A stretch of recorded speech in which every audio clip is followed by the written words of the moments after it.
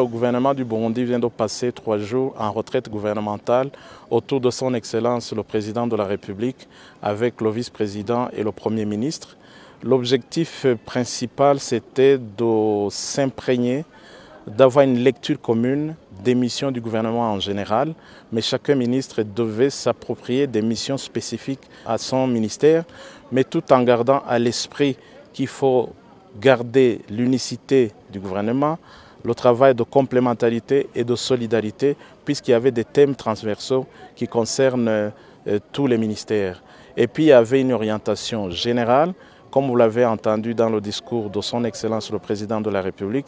C'est ce qu'on a appelé en Kirundi l'État vieilli et l'État ngozi. Si j'essaie de traduire littéralement, c'est un gouvernement responsable et c'est un gouvernement qui gère les biens de l'État en bon père de famille. Alors, il a été question de faire le tour de mission en général du gouvernement. Son Excellence, le président de la République, est revenu sur les principales missions du gouvernement. Je ne peux pas les reprendre ici. Le document est là pour donner une bonne orientation.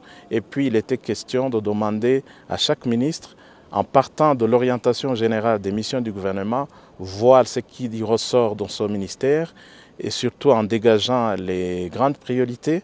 Et puis après, il était complété par les autres ministres et collègues. C'est à partir de cela que chaque ministre, euh, dans ce qui le concerne, va élaborer un plan d'action en faisant la priorité.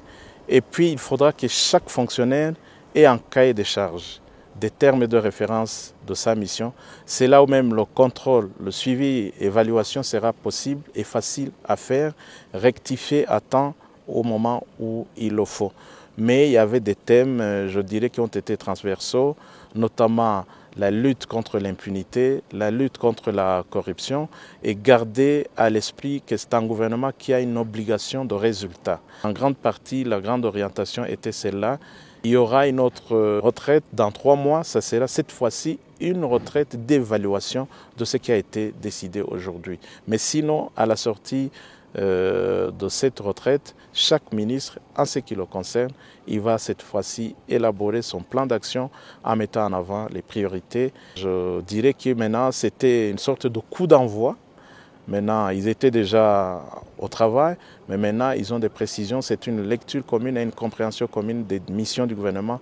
Et surtout, euh, chaque ministre doit s'imprégner euh, des missions qui lui sont assignées, tout en gardant à l'esprit l'esprit d'unicité du gouvernement, de collégialité du gouvernement et de solidarité gouvernementale.